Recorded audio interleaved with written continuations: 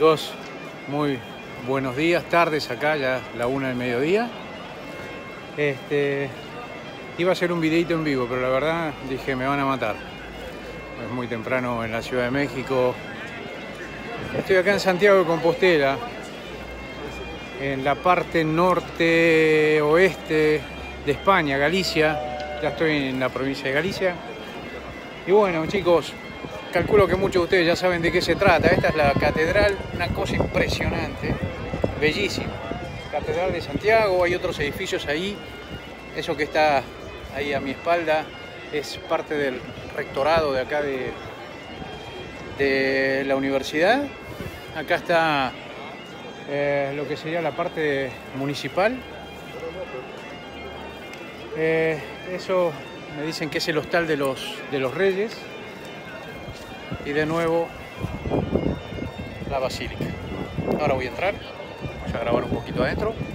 Por afuera se ve impresionante. Obviamente acá ni me animo a subir el dron. Fíjense nada más. Acá la gente festeja porque este es el final de una ruta que se hace a pie eh, con un corte religioso que tiene muchísimos siglos. Una de las tres rutas en el mundo ¿no? más emblemáticas.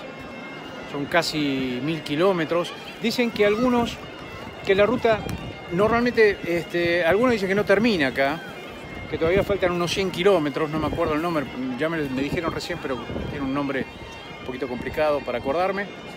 Y acá vienen, terminan, festejan, muchos lo hacen en bicicleta, incluso a caballo, a pie.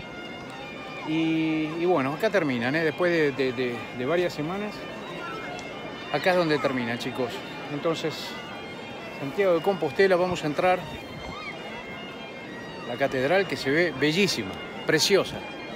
Para seguir ruta, este, hoy ya creo que mañana duermo del lado de Francia. Pero bueno, hoy vamos a, a terminar de dar una vueltita por este zócalo, como digo, donde la gente festeja. Muchos obviamente vienen a ver tanta cultura, tanta belleza de arquitectura. Y bueno, nosotros vamos adentro, fíjense nada más. ¿eh?